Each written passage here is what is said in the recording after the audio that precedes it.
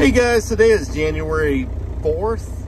We're doing a video on 1535, of 2012 VNL 630 with manual 10 speed. This truck's got interaxle lock, cruise tilt telescope, Jakes. It's got CD player.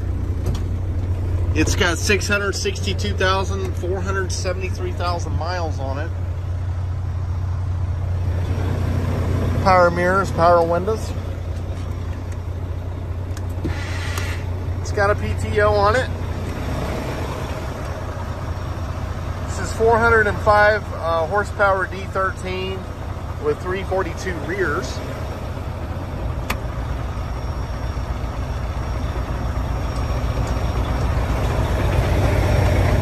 This was a fleet truck.